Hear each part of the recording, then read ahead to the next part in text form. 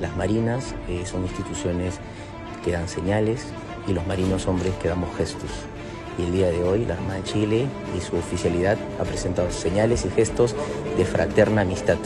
Y es por eso que estamos aquí rindiendo un homenaje a nuestro héroe, gracias a, la, a que la Armada de Chile aceptó que se coloque esta ofrenda floral.